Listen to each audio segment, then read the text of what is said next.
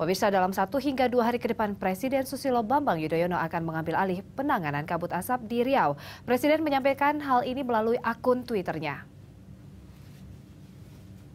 Presiden SBY berkicau soal kabut asap Riau Kamis malam sebanyak dua kali. Selain akan mengambil alih penanganan kabut asap, Presiden juga meminta para pejabat daerah di Riau berdiri paling depan untuk mencegah dan menangani asap.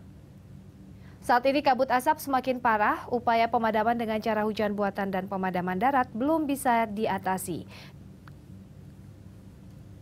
Badan Nasional Penanggulangan Bencana mencatat sebanyak 53 ribu warga terserang penyakit akibat kabut asap.